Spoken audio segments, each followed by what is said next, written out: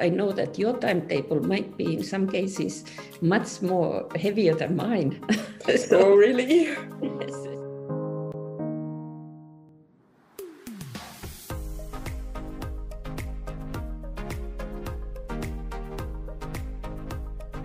Hello, everyone, and welcome to this 2021 series of the Caradoc interviews. I'm Gaëlle Vitali-Derrien for Caradoc Careers and Doctors Association, aiming at helping doctors, PhD students, and postdocs finding their way and their career. We are interviewing today Tiina Suomijärvi, a professor in University Paris-Saclay, who is a teacher uh, in physics. She was a pioneer in English classes in France. And she's also a researcher in uh, astrophysics, and she has been she has won a lot of prizes, uh, among them the Chevalier de l'Ordre National du Mérite for her research in physics. Welcome here, Tiina. Thank you very much. hello, hello, everybody. So, how are you feeling today? I'm feeling fine. The weather is nice, and uh, yeah, this is already a good point to, to start the day. Yeah, it's true. So, thank you for being here. Can you begin by telling us a bit more about yourself, a global overview of your life as a researcher? Okay, so I came uh, to France. Uh, a long time ago as um, for an internship actually originally, then decided to make PhD in France. And uh, after that, uh, make a short postdoc also in France and got a permanent position in uh, university. And um, I'm working, first I was working in nuclear physics, so my PhD was on experimental nuclear physics. And then uh, later on, I moved more towards astrophysics, and uh, I'm working now and already since 20 years in the field of uh, astroparticle physics. And my my job is, I actually, as a university teacher, you can say that I have two jobs. One is uh, uh, teaching and developing uh, teaching programs, and the other one is research. Yeah, so you said that you uh, moved in France at the beginning for an internship and then you stayed here. Can you tell us a little bit more about the um, challenges and the difference between uh, living in France and I mean the, um, the main thing that you face as a foreigner living in France? Yes, of course. Uh, I came from Finland, which is uh, uh, still a European country and not so yeah. different uh, from France. Uh, so, in the cultural point of view, it was not so difficult. However, of course, as you all know, French language is challenging. And when I came to France, I didn't speak, uh, well, perhaps few words of French, but uh, not much more. So I needed to, to learn French. And this actually uh, I learned because I was discussing with a lot of people and in the laboratory discussing with uh, uh, technicians, engineers, and uh, of course other other research people who some of them didn't speak in English. Yeah. So for you, the main issue to face is the language. Well, um, I think it is one uh, one issue for students uh, who are coming for uh, to France for physics. They typically don't know so much French language. Of course, in France, there's a lot of students uh, who come here to study, for example, uh, history, culture, or even French language, and they don't face the same uh, difficulties as students who come for for more, te more technical domains. So it was one, but of course it's not uh, it's not uh, perhaps the, the, most difficult. But I would say that uh, when you go to work in a laboratory in every every country, it can be what, whatever country, you are facing some difficulties because uh, you come to a work environment. So it's not, uh, of course, only language, but uh, if I compare differences between my home country, which is Finland, and then France, uh, basically the differences uh, were related to language. Okay, I see. So now we're going more into precision and know that you showed us a global overview of your career. Can you tell us a bit about uh, one day, one typical day of your life as a physics professor? Well, of course, uh, uh, uh we have these two jobs. Uh, so I, I, do research, but uh, I also work for university and um, and related to both these aspects. Uh, we have a lot of administrative work to do. Also, we have a lot of commissions and um, and uh, meetings and so on. So, if I would think about, um, let's say, a typical day, is that well, I I'm discussing with. Um, my PhD student, of course, because uh, we are planning uh, what we do the, during the next days and so forth, preparing for conferences, preparing papers, and uh, then uh, I typically have a lecture course of uh, two hours or three hours. Of course, uh, this year it's easier now because uh, we do lectures in what is called in French présentiel, so the students yeah. are there. Uh, so I feel it more interesting and more easy to, to teach in this way than what we did last year. And then, of course, I, I come back. I come back from my teaching, and then uh, in some cases, I will have a, a video conference uh, uh, in the afternoon, like three o'clock or something, because I work for international research projects. And due to time differences, for example, between US uh, or Argentina, I'm working for an observatory which is located in Argentina. Yeah. Uh, all, uh, all these meetings are in the afternoon. So let's say this is a typical day when I'm uh, when I'm uh, at home, uh, I mean in France, of course, um, uh, we travel a lot also because uh, we are working for international projects. So let's say 20 or 30 percent, 20 percent of my time, uh, I'm, I'm traveling. Yeah, so it's between like being there in the university teaching and being abroad sharing about ideas and science. Yes, we have a collaboration meetings, uh, which typically for us uh, we're located in uh, on our observatory site, uh, for example, in Argentina, for uh, one of my projects, and there we were discussing. we were discussing new ideas, yes, and how we go on with the observatory. What are the problems and what are the new results? Okay, so it's yeah, it's like teaching, and also you have to be there to control the the um, the workflow of the observatory. It's in uh, Atacama Desert, if I'm not wrong. No, uh, this is another project. I'm sorry. This I, I work for two pro projects. Uh, one is uh, Pierre Auger Observatory, which is located uh, close to the Pampa area in Argentina. And uh, the other project, uh, which is right now under construction, is the Cherenkov Telescope Array project, CTA, which will be in La Palma Island in, in Spain.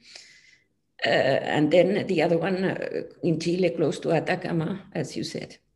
Okay. So yes, these uh, these projects. I'm also. I have to say, I work in a field where our observatories are in very exotic, exotic places because yeah, they are. we need clear sky and uh, no population around, uh, no houses, uh, no cars, no streets. Yeah, of course. So thank you very much for this introduction. Now we're going a little bit in detail about your role in uh, the world of education. So your role as a professor and a teacher. So you um, are uh, you created several programs and you were you have a really important role in a graduate school. So and um, also to, to mention again that you were a pioneer in the English teaching in France, which is now very common, but it, has, it had to be started at some point. So how would you describe the importance um, for a researcher to take place in education of the role of the researcher as a teacher? I think uh, this is uh, really fundamental because uh, research is, of course, uh, very strongly linked uh, to education because uh, uh, we need to make sure that uh, the new ideas we have on research, uh, we teach them to the next uh, generation of, uh, of course, yeah. people.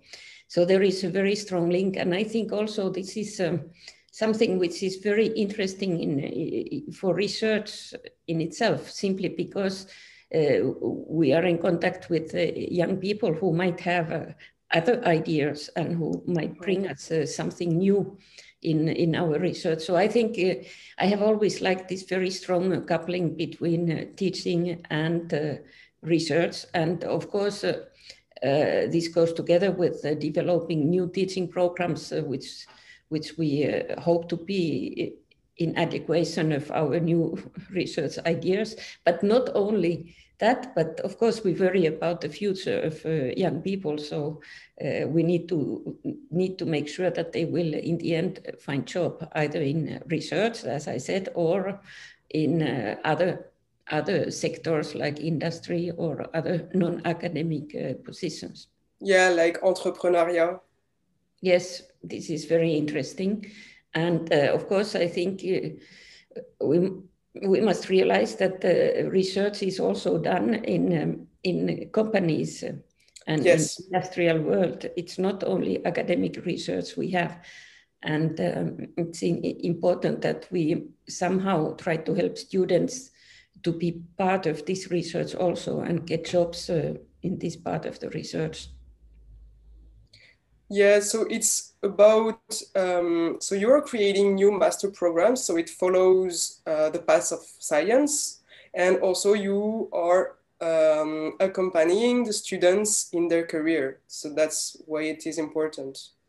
Yes, uh, as examples I can give, uh, I was part and initiated this uh, development of um, phys physique appliquée, applied yeah this was um, a master program in France still.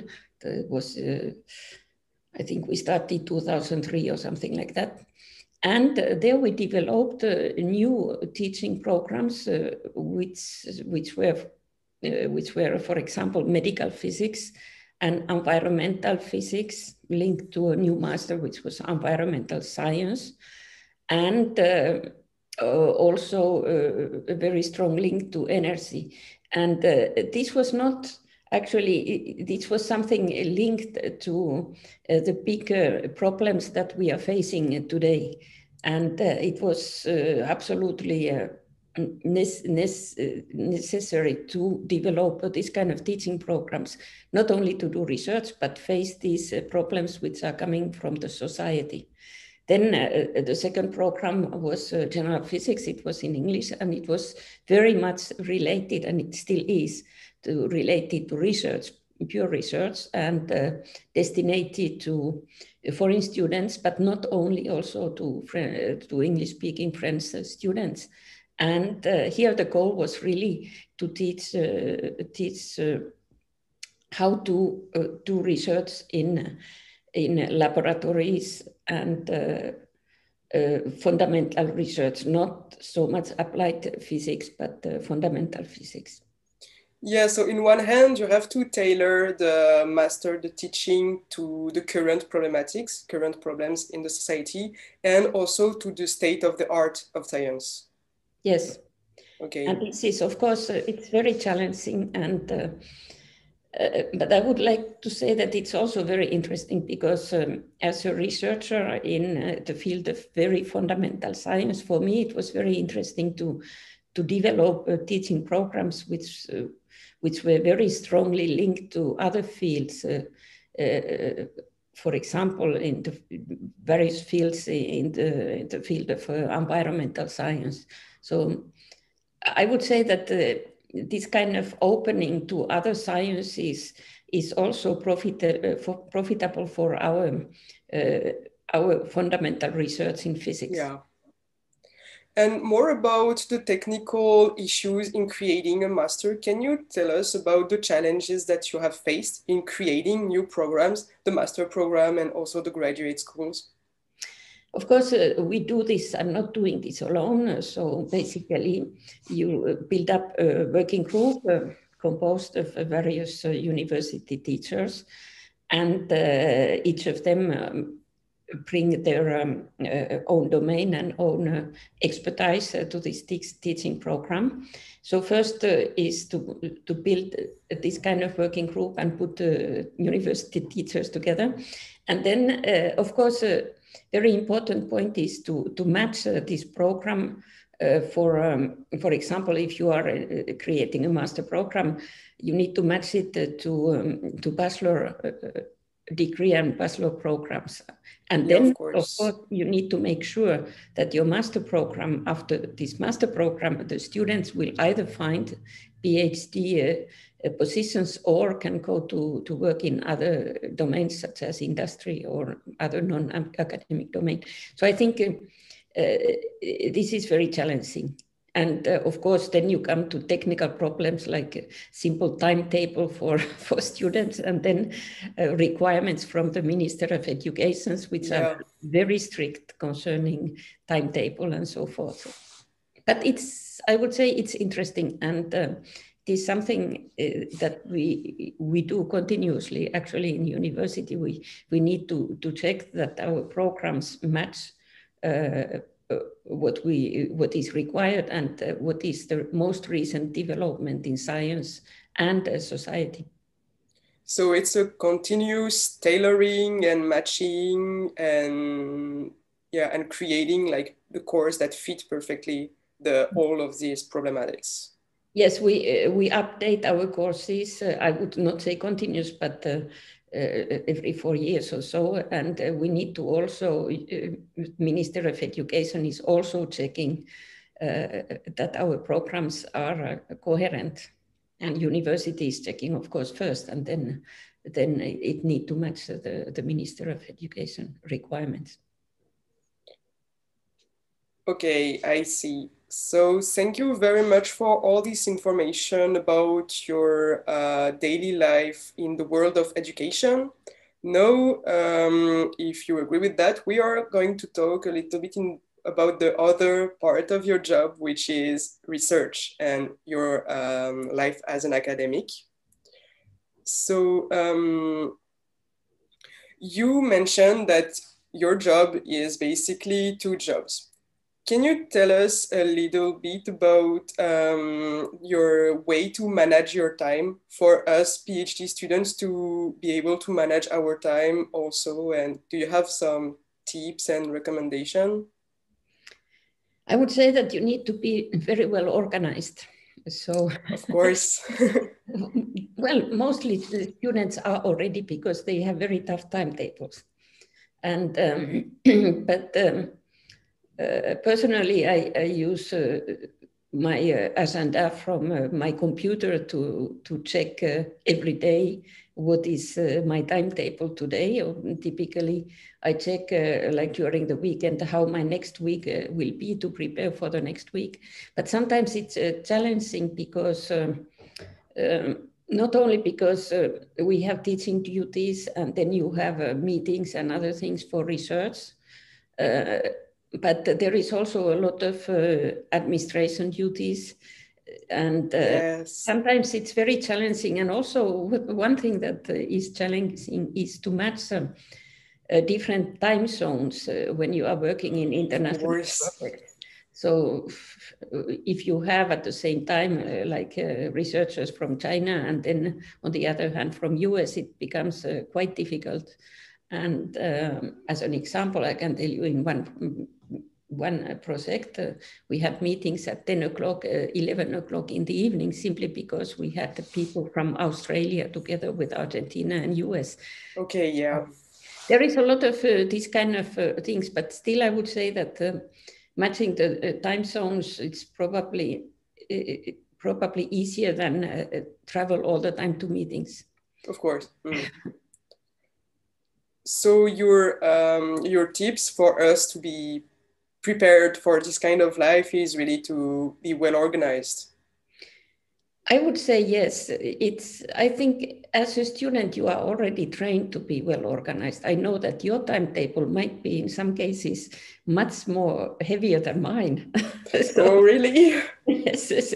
Uh, students are very, very hard timetables. I can tell you this because I have been preparing these timetables for students. Yes, it's true. It is impossible, but uh, yeah, for everything, I think you need to you need to be well organized to to manage. Uh, your stress first of all uh, you can hear a lot of good tips to manage your stress uh, nowadays but it, it is important and then one thing that i i use a lot is that if i'm uh, in a meeting or somewhere i fully concentrate to this meeting which is in hand i'm not uh, doing several things at the same time so okay. i concentrate uh, to one thing and then i move to concentrate to a next thing and I would say that at least in my case, this helps a lot and this is efficient because then I'm fully efficient in a meeting and I'm not doing something else at the same time. Yeah, this is a great advice because the temptation to do several things at the same time can be strong and maybe for some people it won't be so efficient. So yeah, thank you for sharing your tips with us. Mm -hmm. So the next question is also going to be more technical. So you as a teacher and as a researcher, you are on a lot of projects.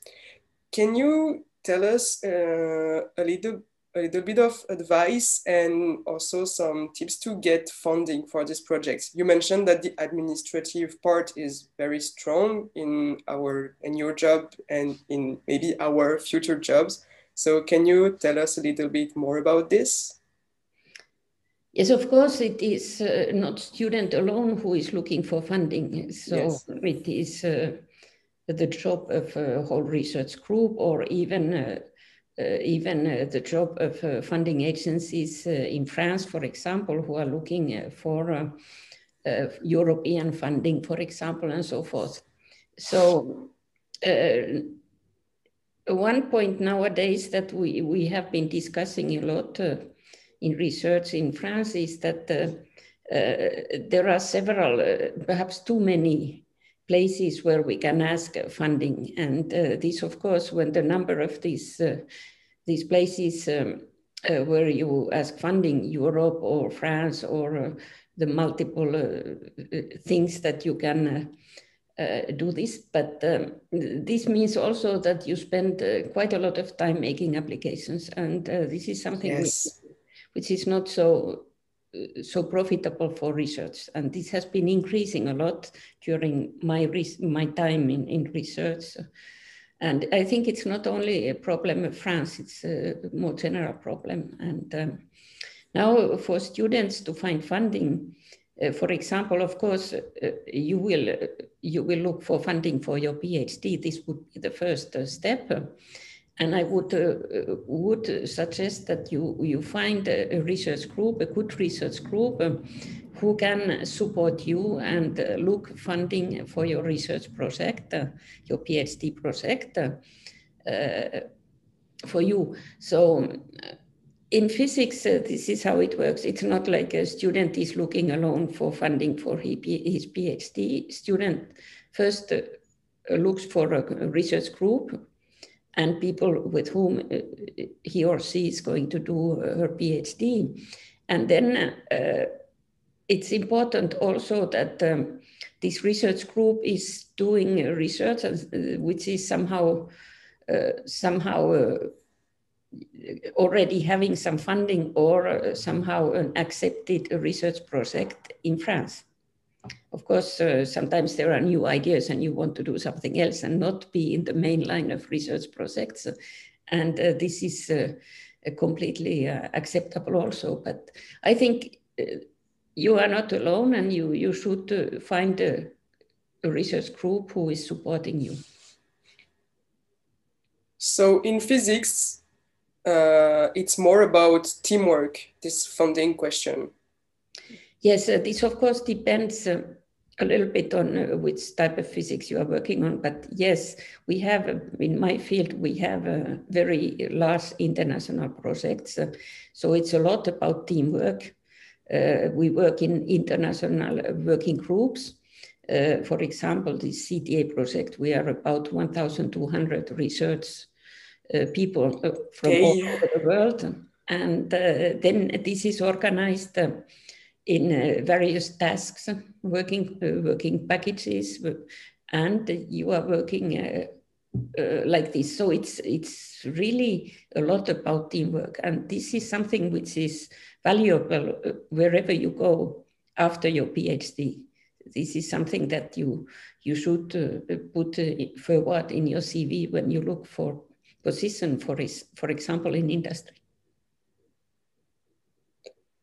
So yeah, you mentioned about this thing being important when we finish our PhD. And so that leads us to the next question, in which is um, about after the PhD, what are the things that can make you, that can help us uh, get a position, especially in research, because now it's really complicated due to the limited number of places. Yes. Um, first of all, I nowadays uh, in, in, France uh, and also in all other countries, uh, you should make a, a postdoc uh, one or two years, and typically yeah. it's now two years. So actually, you you should uh, find a postdoc position which is not completely different from your uh, PhD studies, but which allows you perhaps to open a little bit to something else also somehow to increase your competencies.